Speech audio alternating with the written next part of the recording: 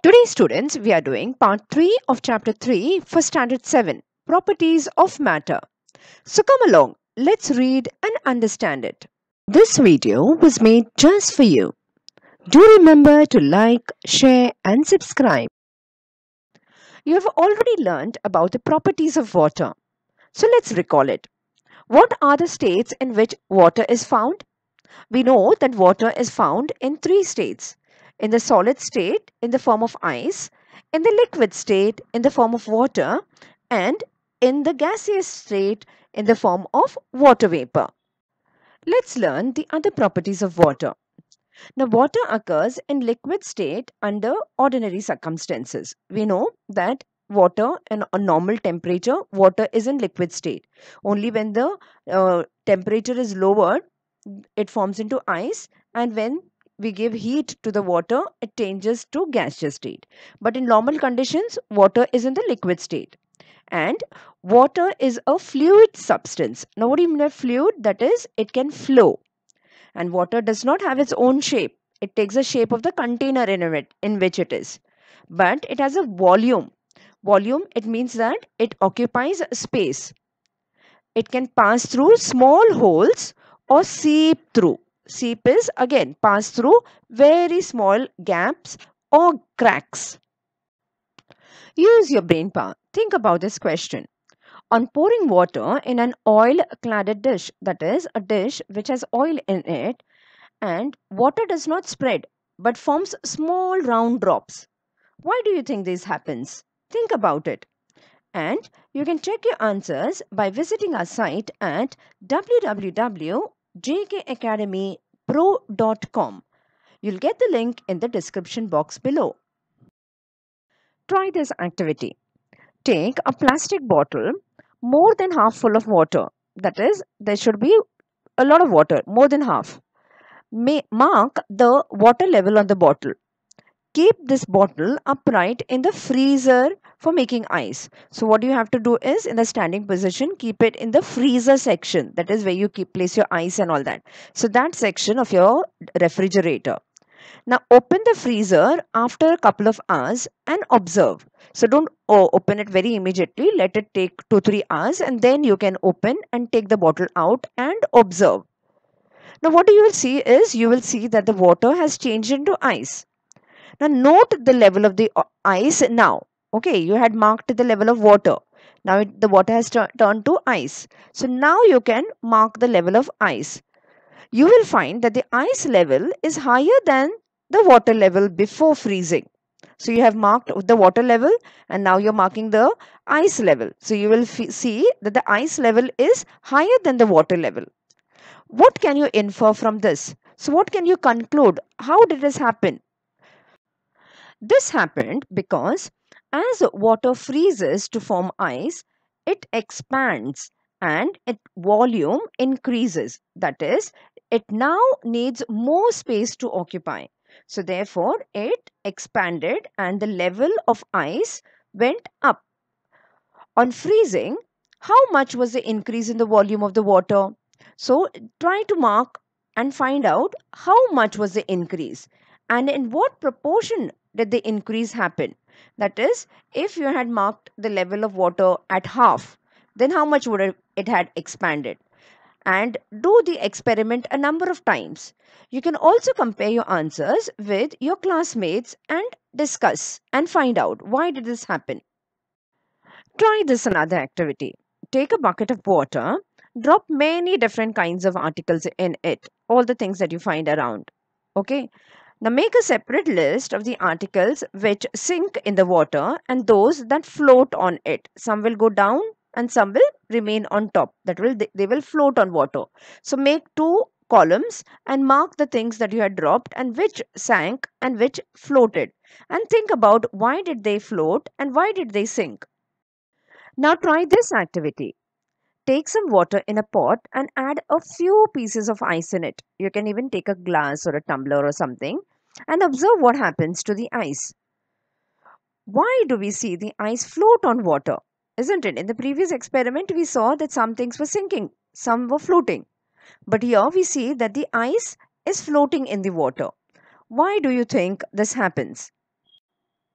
Now, ice is lighter than water. When water freezes to form ice, it becomes lighter than the original liquid. That is, original than the water. So that water we have frozen and it has formed into ice. So it is, ice is much lighter in weight than the water. Now, when water freezes, that is, when it transforms into a solid state, its volume increases. That is, it expands, it becomes more. And therefore, the density of ice is less than that of water, and that is why the ice floats on water. So, because the density increases, it becomes much lighter than water. So, it can float on water. Now let's learn how to calculate density of water. What is density? Density is the interrelationship between the volume and mass of a substance. What is volume? Volume is nothing but the space occupied by a substance. So that is volume. And what is mass? Mass is the store of matter. That is how much matter is present in a substance is called a mass. So therefore, density will be equal to mass upon volume. Now we know that mass is measured in grams and volume is measured in cubic centimeters. Hence, density will be equal to gram upon cubic centimeter. So hence, gram per cubic centimeter is the unit of density. Now, if the mass of 1 liter of water is 1 kilogram, then what is the density of water? Can you calculate it? To check your answers, you can visit our site at www.jkacademypro.com. You'll get this link in the description box below. Use your brain power and think about this. Will the mass of water, that is the matter in the water, change when its state changes during the transformation of liquid water into ice? That is, when water in its liquid state changes to ice, will the mass also change? Think about it and you can check the answers on our website at www.jkacademypro.com. Now let's learn about a very special property of water which is called the anomalous behavior of water. Now we know that usually when the temperature of a substance is lowered, that is when the temperature is cooler, that is it is more cold its density increases as the volume decreases. So they are opposite to each other. But water is an exception to this rule. Now let's learn about it. For this try this activity. Keep a glass full of water in a freezer for 5 to 10 minutes not longer. Then take it out and observe it carefully. What will you see? From which part in the glass does the water first start to freeze isn't it? We have just kept the water glass of water for a short time and it has just started to freeze. So from which part has the water started to freeze? So observe it carefully let's understand the anomalous behavior of water in detail. Now the density of water is very peculiar. That is it is very very strange. When water at normal temperature starts cooling its density increases like that of most liquids. However, if its temperature falls below 4 degrees Celsius, that is, it, the temperature goes down below even less than 4 degrees Celsius, its density starts decreasing instead of increasing. So it just happens the opposite.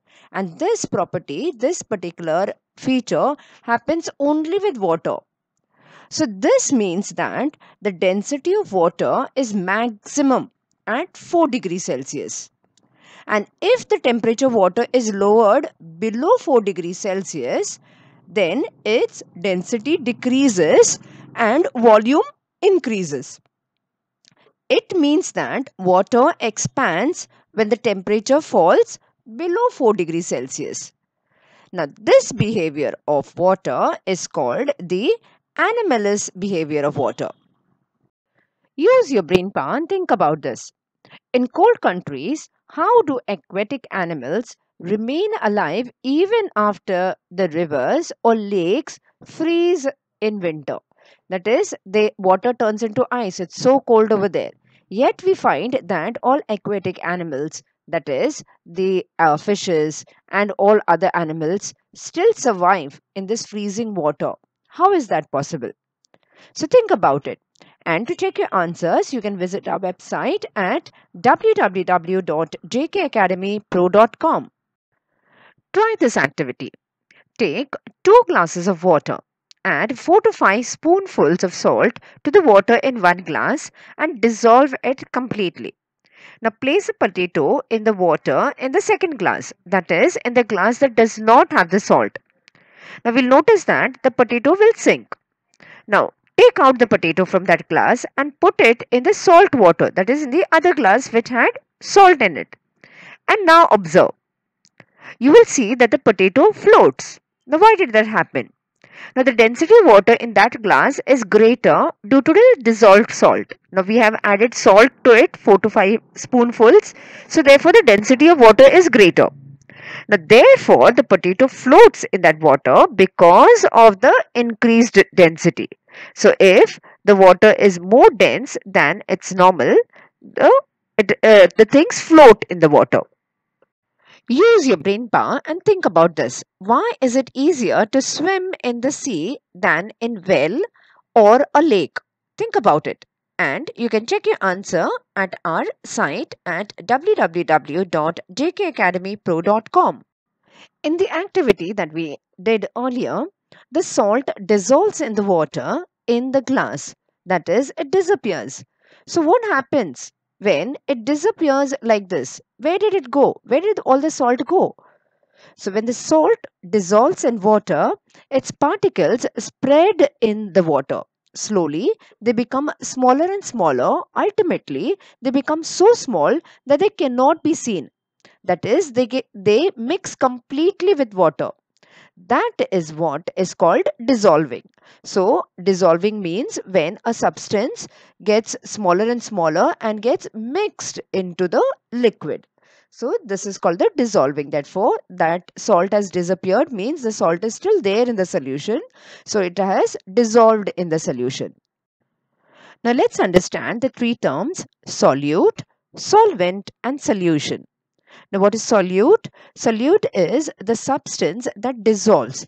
In our experiment that we had done, it is the salt. So, that salt dissolves. So, therefore, salt it will be called the solute. Now, what is solvent? The substance in which the solute dissolves is called the solvent. So, in our example over here, it is the water. Water will be called the solvent. And so, what is a solution? When we get, what we get when the solute dissolves in the solvent. So sol solute has dissolved in the solvent and now we have a new substance. So that new substance is called the solution. Let's learn about the uses of water according to its properties. The first one is water is useful for water transport due to its fluidity. That is, we know that there, there are a lot of things that we can transport through waterways because of its fluidity. Fluidity means it can flow. Then water falling down from a height is used to generate electricity with the help of a generator. So the water that flows has got a lot of energy. So this energy is converted into electric energy through the help of generators. Now the second useful point is water is a good coolant and is used in motor vehicles to control the temperature of the engine. So it cools because the engine is used, engine of the car, it gets heated up. So in the motor vehicles, there is a space where water is added to it to cool the engines. The third is many substances are soluble in water. That is, water is a universal solvent. That is, many, many, many things we can dissolve in the in water. So therefore, water is called the universal solvent. Now, water is used as a solvent in factories, laboratories, foodstuffs, and in various types of biological processes occurring in the body, such as digestion, excretion. So, therefore, water is called the universal solvent. And fourth is, water is useful for cleaning purposes such as for bathing, washing clothes, Do solve the questions given in the textbook. And to check your answers, please visit www.jkacademypro.com. The link is in the description box below. This is the end of part 3. For a complete lesson, do watch all the parts.